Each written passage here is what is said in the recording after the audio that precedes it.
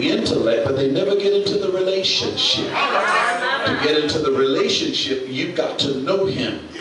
You've heard it said before, I'm not the first one to say it, you can be a Muslim without meeting Muhammad. You can be Confucius without meeting Confucius.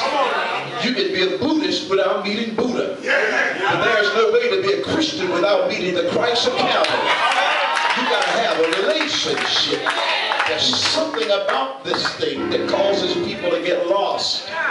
Because they think that since they intellectually know that they've arrived. And sometimes we take the scriptures and we put it to a rhythm and we put them to a certain pentameter and we give them to people and the people repeat them. And they confess in their mouth the Lord Jesus and believe in their heart. The Bible said thou shalt be saved. And yet their heart has never been truly converted they said some words twinkle twinkle little star how I wonder where you are. Up above the world so high like a diamond in the sky. I know the rhyme but I don't know the reason. I can quote the Lord is my shepherd, I shall not want. He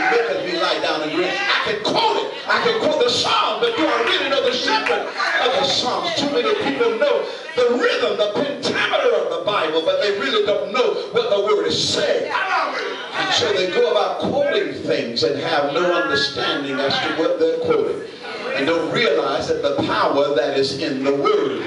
And when you put the word in your mouth, you've got the power of God in your mouth.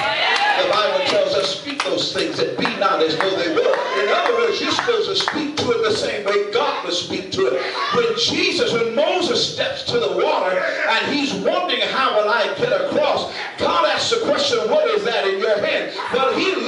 as a simple staff.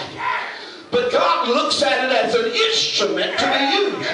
Take that that you call a staff and just stretch it out. And watch me do what I do. If you learn how to submit to what God said, you can see what God wants to do. And people will not submit to what God said because they're trying to evaluate in their own mind, how is this thing going to work? But you'll never figure God out. You, you, you, no. You'll never figure God out. You'll never come to the place where you understand who He truly is until you begin to have a relationship with Him. And relationships with God is not like earthly relationships. Earthly relationships, the only pure relationships we tend to have is a relationship between mother and child. Because the baby born has no better sense than to trust that mother. Has no better sense than to depend on that mama. Has no better sense than to think that when I cry, mama's going to change my diaper. When I cry, mama's going to give me some food. When I cry, mama's going to give me some kind of satisfaction to wipe my tears away. But y'all have told me and society has taught me just making a baby don't make you no mama. A whole lot of folk are making babies and shouldn't be making babies. Happens is God's will. I think some things are just biology. That's just happening. And because God has ordained certain things to happen, they come to pass. Thank you, God. But then every once in a while, God takes a baby like Moses and say you were born in adverse situation. You were born in an adverse environment. You were born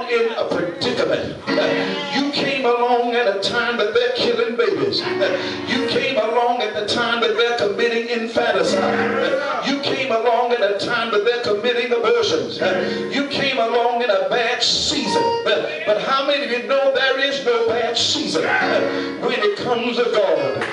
There is no moon and moon sign to be under. I know folks get excited saying, I'm a Sagittarius, I'm a Taurus, I'm a Libra, I'm a this and I'm a that. As though being under certain moon will make the difference in your life.